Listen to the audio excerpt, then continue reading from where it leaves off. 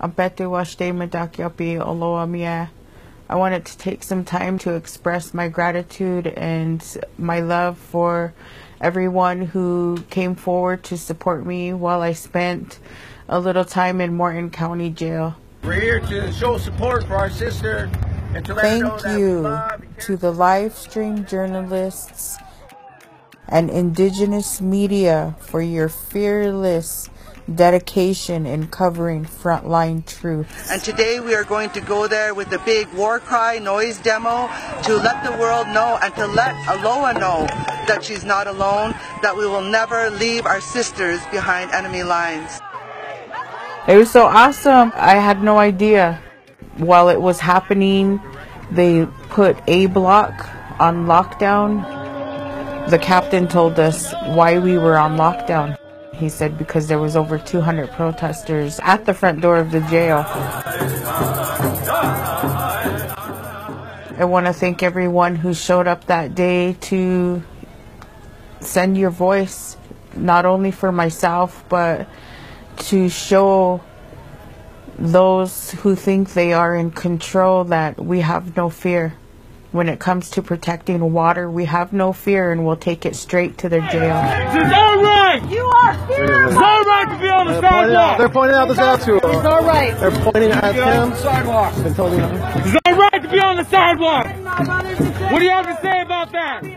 That day I was arrested on September 13th It was an eye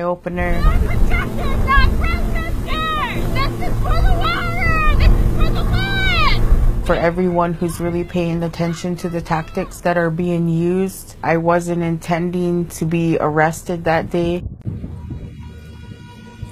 When the police came, they were basically snatching and grabbing and arresting people. Sir, stay where you are. You're under arrest for criminal trespass.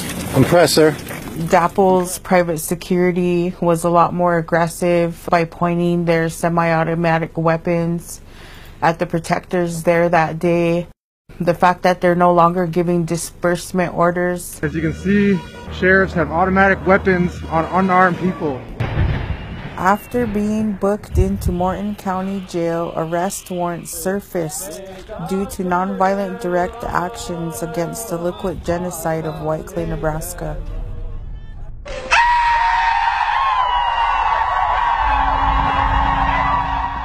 The Free Olowan War Cry noise demo happened on my seventh day awaiting extradition. The following day, Nebraska came after me.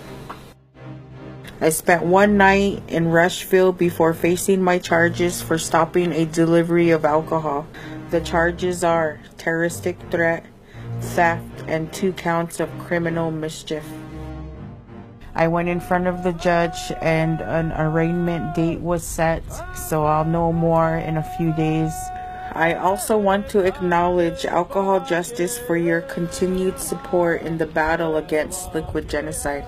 To my relatives who've been personally affected by um, the destruction that Whiteclay can cause. I also want to send my love to my family at Red Warrior Camp.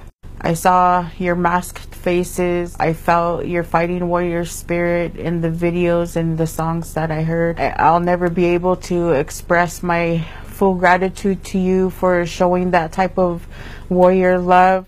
I do this for the unborn grandchildren of every resistor within those encampments, regardless of tribe, nation, color, wherever you come from, we stand in the way of this black snake for the unborn grandchildren of all our nations. Um, it has to be done, and the best way for our young people to learn this way of life, that to learn to protect all that is sacred, is to be shown.